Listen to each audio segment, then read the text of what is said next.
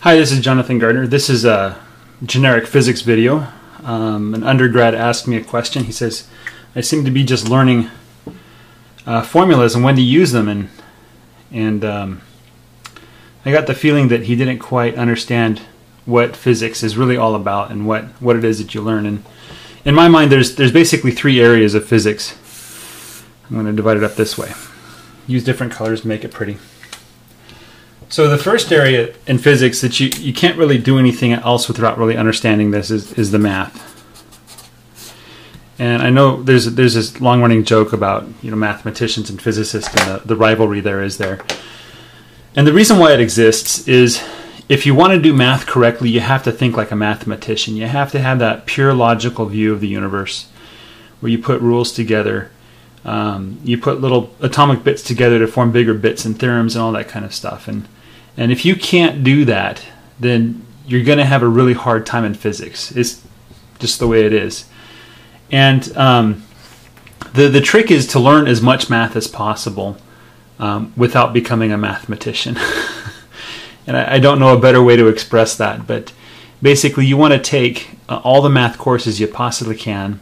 And, and master as many math principles as you possibly can, and that means you're going to skip a lot of theorems. You're going to skip a lot of the the interesting, important bits that you know physicists don't really consider. There's a whole bunch of solutions to math problems that you know physicists don't really really care about much because they don't apply to any problem they've seen before.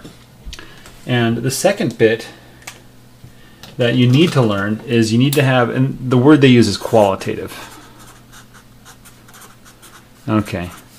And what qualitative means is that's like the knowledge that when you throw a ball in the air it's going to fall back to the earth.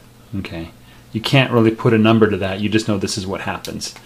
And there are countless phenomena in nature that you you couldn't possibly have been exposed to at the level a physicist understands.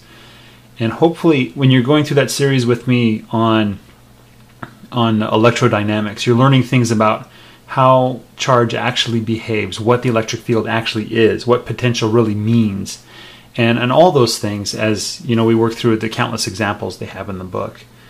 And um, you know one of the interesting things is in quantum mechanics, there's not much qualitative there um, it, to to the undergrad and when I took the course, um, it really felt like I was lost in the math. But there is a little bit that you can pull out, a little bit of things that do make sense.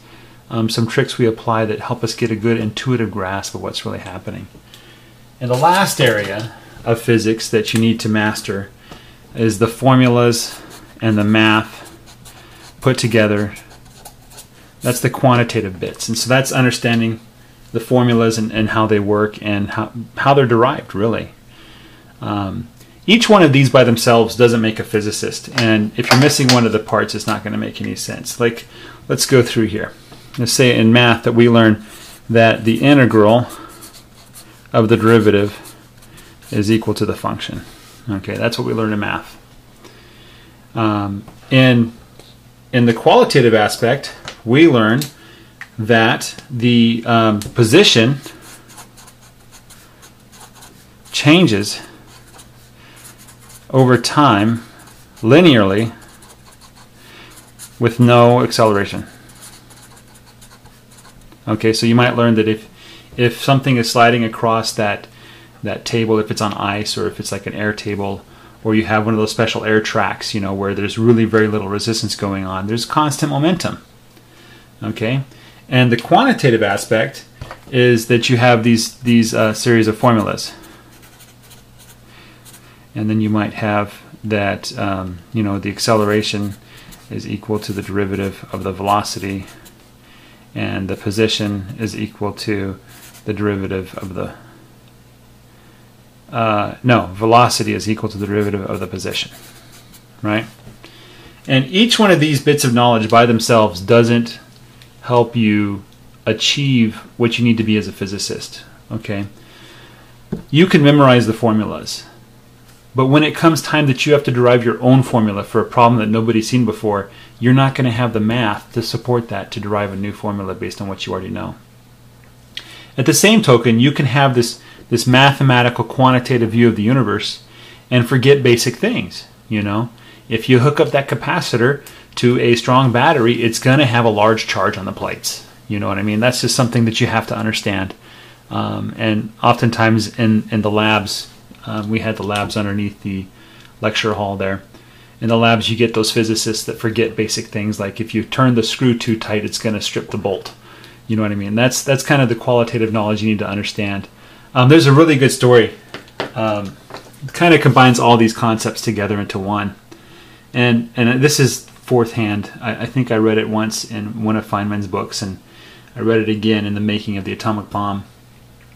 But the basic story is that when they were setting off the atomic bomb, um, one of the physicist wanted to measure how powerful it was, and one of the physicists had a bright idea. So he took little tiny pieces of paper, tore them up, and dropped them as the uh, pressure wave passed by them, you know, miles and miles away. And so he measured the displacement of those. You know, he dropped he dropped many, not just one, but many of them, because he wanted to find the average. You know, so he measured the displacement of the center of those pieces of paper, and he's able to calculate pretty accurately how strong that bomb was. You know, he had a qualitative understanding that the force of energy, the, the energy of that explosion was going to translate to a displacement of air. And he had a qualitative understanding that there was a shell of air, you know, traveling um, away from there. And so you had, you know, a certain relationship between how much displacement um, and how much energy in total. And then beyond that, he had the quantitative understanding of how air behaves and uh, what a displacement, or a certain amount of air, how much force it takes or energy it takes to displace the air. Um, all of that, of course, came because he understood the basic math about how things relate to each other and how to derive one formula from another. So that's really what, what the heck you're learning in physics. Um, I I don't know a better way to explain this, but I you know, if you feel like you're just learning quantitative stuff, you need to step back and and look at the big picture, the qualitative. If if you're getting the results of the formulas but you forget how you got there, you need to st- step back and learn the math again.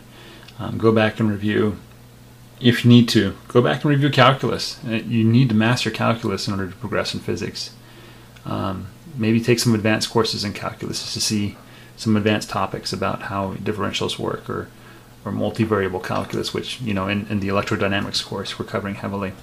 Anyway, I hope this helps. Uh, hope this gives you some encouragement to, to keep moving forward and, and maybe, you know, take a look at the problems that you're solving in a different light.